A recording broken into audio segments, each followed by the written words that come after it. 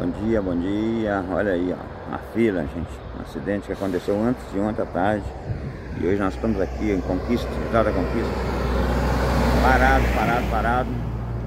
Diz que não tem nem previsão. Diz que o pessoal, os especialistas, né? O pessoal, eles têm que vir ainda de Paulina, São Paulo, olha aí. Agora são cinco e pouca da manhã. E nós estamos parados aqui. Olha a fila. Fila que some, olha. Já apareceu a fila, ó.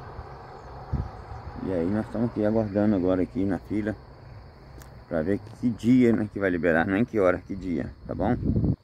Eu vou deixar esse registro para vocês. Agora são 5 cinco e pouco da manhã, né? São 5 e 40 mais ou menos. Né? E essa fila aqui tá desde antes de ontem, tá gente?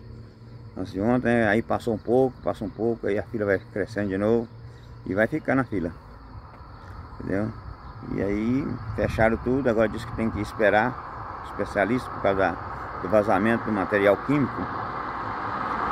E hoje é dia 6, tá?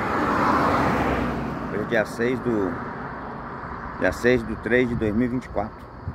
Tá? Aqui Vitória da Conquista. Anel Viagem de Vitória da Conquista. Vou deixar registrado para vocês aí.